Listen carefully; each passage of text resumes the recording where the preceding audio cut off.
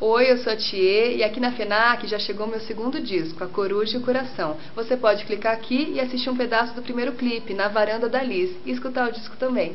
Na varanda,